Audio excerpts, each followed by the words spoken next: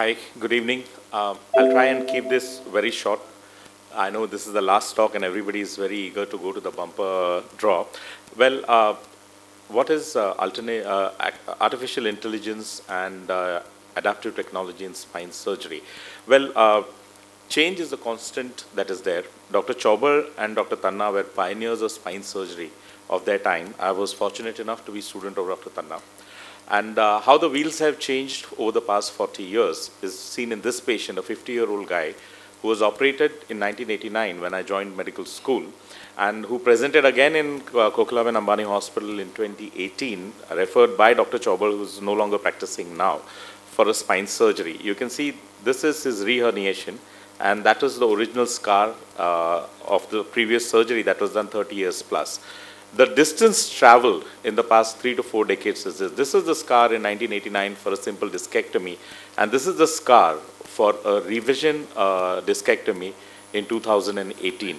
So as we progress, so how does it work? This patient was my first patient I operated on 2nd February in 2017 after joining Ambani Hospital.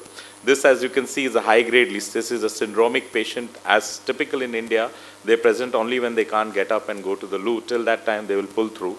We fixed this surgery, but what was different for her was she could squat and sit down in a month's time. So this is how spine surgery has changed. Uh, we have expectations that once the spine surgery has been done, you will never bend down, you will never squat down, you will never lift weight. We can say that several of our patients have gone to international level, Olympic level competitions and won medals there. And how do you improve this even further? How many of you here, I like a show of hands, use Google Maps? Yeah. How many of you used any form of navigation 20 years back? We had a paper map which would tell us where to go. What has changed now is this captures real-time data, tells us what alternative routes you have to go, where you're going to get stuck, and where is the road free. Similarly, what artificial intelligence and navigation does in spine surgery today, it tells you what is the best path to put your screw inside, what is the best length of screw you can put, what is the best thickness of screw you can put, and how is your screw going to be inside once you put it. You can store various uh, levels of screws that you have put in, program your drivers to put them exactly in that case. And how is this achieved? Well, like all uh, sources, you need information. The information what we have is through this CT scanner. That's an O-arm. That's one of its kind in Mumbai. We are the first ones to uh, get it five years back. It is still the only O-arm in uh, Mumbai and for that matter in, uh, in Maharashtra, O-arm 2.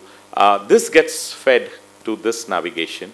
And then to put a simple screw in the back, I'm sure all of you have seen patients in whom screws have been put in the back with long scars where the muscles are disrupted. I'm just taking you through this, uh, this thing. This is me marking where to put in a screw. The patient has not been opened up here. This yellow is where the projected path of the screw will be. Blue is where my drill is.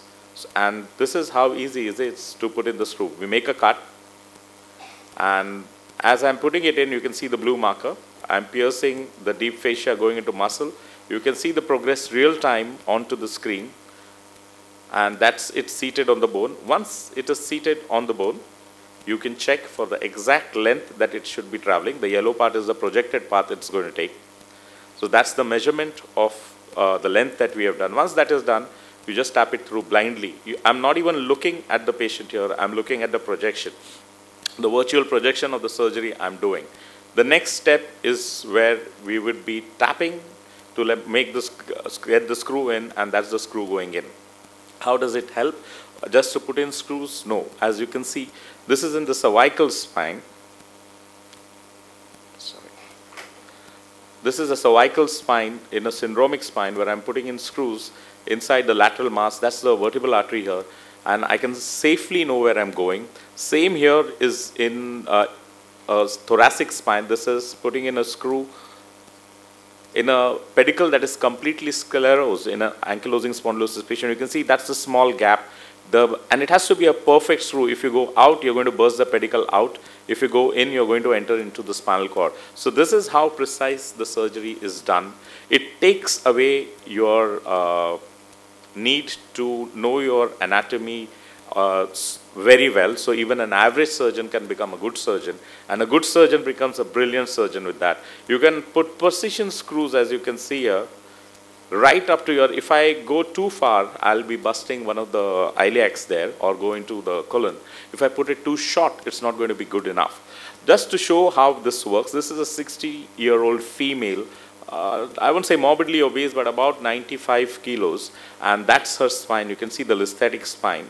We use a Jackson table. Again, this is the only one in the country. This is a complete carbon fiber table. It allows the patients, especially somebody who's fat like me, the abdomen to be free so that there's no uh, pressure on the vessel. Uh, this was made actually for PG teaching, so I'm going to skip some part of this uh, to the, yeah. So we make a small hole in the patient's back. That's the sign of my index finger. So this is a little thicker than that 22 millimeter uh, entry portal. Uh, unlike abdomen, uh, back is solid muscle and bone, so you have to put a tube retractor before you can put your endoscope, microscope, or exoscope as we use now to visualize inside. So that's the tubular retractor we're using uh, to get into the spine. And that's what you see inside. That's the head end, that's the medial aspect, that's the foot end. This is the pars, and I'm taking a chisel to make a cut here. That's the facet joint and this is about two and a half centimeters of length. So once that part is uh, mobilized, you take the facet uh, joint. This is a fusion surgery for the spine. Typically, we would have opened up the whole back, taken out all the erector spinae away, denervated it, so made it practically useless, and uh, made it a very painful uh, uh, surgery for the patient. Here, we are just making a focused entry of where it should be. That's the superior facet uh, here. I'm going to skip through some of the steps here.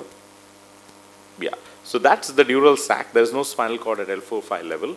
Uh, that's the ligamentum flavum, which has been taken out. What you can see here is the Kambin's triangle this is where we go in from. That's the disc space. You can barely put in a 15 number blade because it's a very severely uh, degenerated disc space as you can see there. There are ways and means of getting this disc space to open up. I will uh, skip some uh, most of the part there because that's not a part you would want to see. Yeah, that's the jacking up mechanism. We use several blunt, uh, it's like uh, jacking up a car to change its wheel serially from 6 millimeters to whatever is the ideal height. This uh, puka chisels help us in opening up the disc and bringing it back to its place. And uh,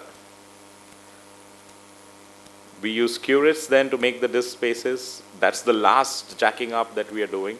This is a 13 millimeter uh, jack up that we're doing here. We use again curettes to reach to the opposite side, clean up all the cartilage ends so that you have a nice fusion mass that's there inside.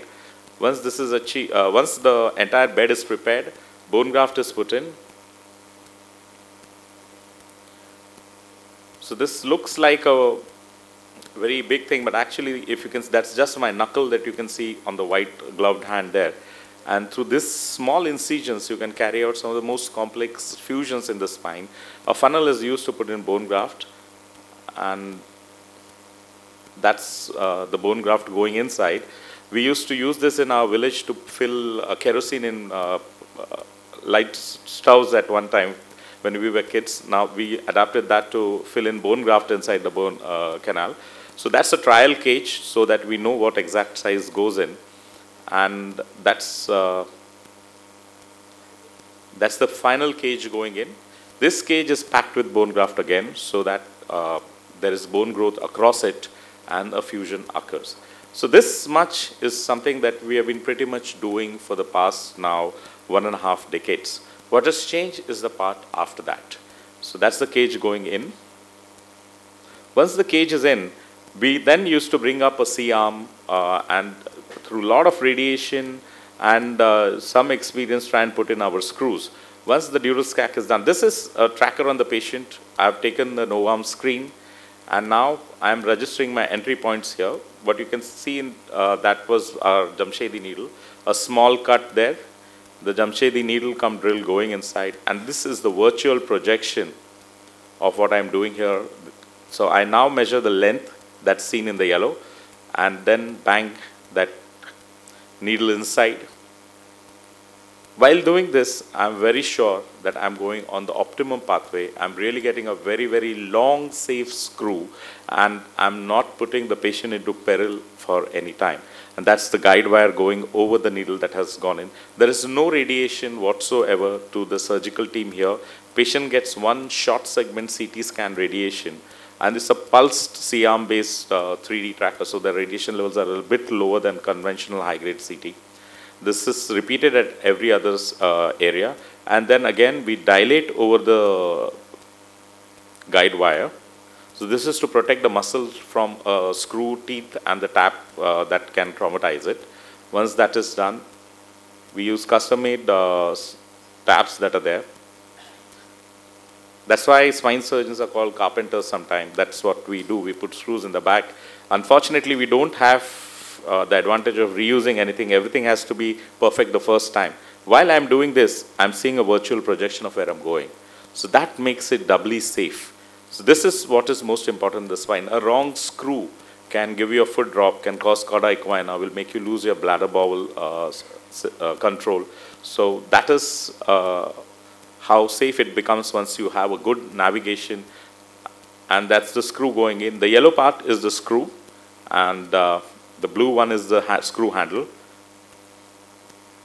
And as it goes forward, I see real time where is the screw moving forward, whether it's in the proper place, whether the adequate length of the screw is inside. Because once you're in, you can't back out the screw. The moment you back out the screw, the purchase of the screw goes down.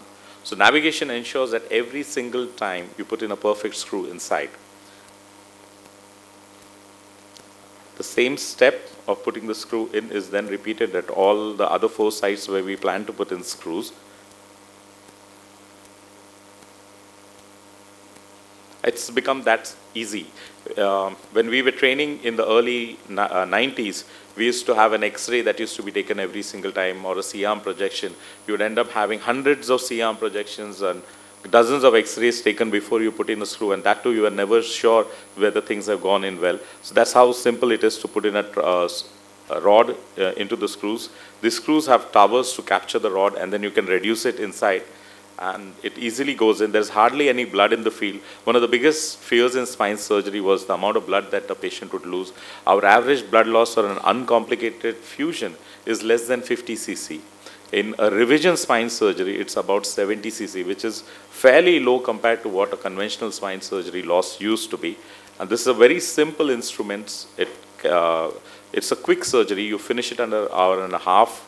And uh, the patient walks within a few hours of the moment they are conscious. Yes, uh, it is painful, but it is much less painful than what an open surgery would have been. And uh, the results are so far out of the 1800 surgeries I've done in the past six years, we have had uh, cage-related complications in four. Uh, two, we didn't need to do anything. Two are the patients who had a problem with the cage. So that's like 0.2% complication rate in uh, surgery, which is fairly acceptable and better than most uh, complications that are seen uh, in major institutes in the world. And just to give you how much is the footprint of the surgery, that's how small the cuts are and that's how the surgery gets done. And that was her post-op x-ray. She went to have a full recovery. We are able to do it even in such bad cases of multi-level. This is our cardiac anesthetist mother. Uh, she's now one year post-op and doing fairly well. It's not just for screw fixation, but even for tumors like osteoid osteoma, especially uh, near the conus medullaris where it's extremely difficult to go in. We were able to, I'll just show you the virtual projection. So that is my drill. So while I'm drilling around the tumor, I can see the projection virtually. So I can actually go in and drill it blindly, knowing that I'm in within safe quarters. And that is the end result. Through the small holes, we're able to take out the complete, this is the nidus of an osteoid osteoma, which is usually burnt or curated out. We are able to take it out completely. And it's not a one case miracle. This is another 18 year old boy. Another difficult placement. It is just, this is where the nerve root is. And this is just under the pars here. And that's what we did for him. We used navigation, put in a tube, and we were able to take it out. That is how he presented, and that's him once the sutures were taken out. In larger tumors, such as this ones, that you can see in the lung, this was asked by one of the largest centers to go home because she was paraplegic. And you can see the large effusion you can have. It was adherent to the heart and the aorta. That's her intra picture. We went from behind. We put in screws. This is the part of the chest wall that was taken out with three ribs. And you can see the thoracotomy with the remnant of the tumor stuck to the aorta, which uh, was dangerous to remove. But most of it, we could get it out from there. This surgery is more, and this is a virtual projection. When we were taking out the tumor, this is what my microscope is saying. You can see the cage. That's the marker here, and that's the virtual projection. So I can actually just take a look at how well is my cage sitting, where is it sitting, how much of the bone has been tumor using this feeler virtually, rather than having to open up and see it from the front. This patient is now nearly three to four years old, recovered and doing well. Well, a combination of these techniques, uh, this is a Brown's tumor uh, in a chronic renal failure. That's what we did for him through these small incisions. And you can see this is tricalcium phosphate cement vertebroplasty that was done. That's his image eight years later. This patient recently passed away due to medical complications, but he could go for his dialysis within a week of his surgery for nearly eight to nine years. That's another 58-year-old. Uh, I think Dr. Somnath and I collaborated on this case when uh, this case had a failed vertebroplasty which got infected. We used minimal access techniques to splint him. His INR was between 2.5 to 4 during the surgery, but still through these holes we managed to put in these screws, after which he had a liver transplant, post which we went in and revised. This guy is back to his business uh, of transport. Uh, he would never had a chance to live if we had not innovated for him. This is another patient from Malad's 70-year-old. Uh, this fairly common what we see here. What we did differently for her was we used the O-arm. We didn't open the vertebral, the spinal canal here at all. We went from the side. We didn't get into the chest cavity. We eh, skirted through the pedicle to put in this cage to restore her height. So the chances of getting paralysis were zero because we never manipulated inside, nor does she have the problem of having the chest cavity open and the morbidity associated with it. So that, that's the intraoperative view to check how is the cage sitting, how are the is the graft placement adequate, is the purchase of the screws adequate. It has been extended to several cases. This is a revision surgery in a 110 kilo uh, patient, bent over like that where we could correct. This is another surgery we revised in an 80 year old. Uh, his only wish was to be able to walk in his native place and that's him. He's now 85 years old. We did it when he was probably 82. Uh, we can, uh, we'll go back to the X-ray. With his permission, his birth date was uh, 1939. So even old uh, patients, we have been operating from six months to 94-year-olds. We have been fortunate enough that most of them have gone back to living lives that they would be happy with. Thank you for this patient hearing.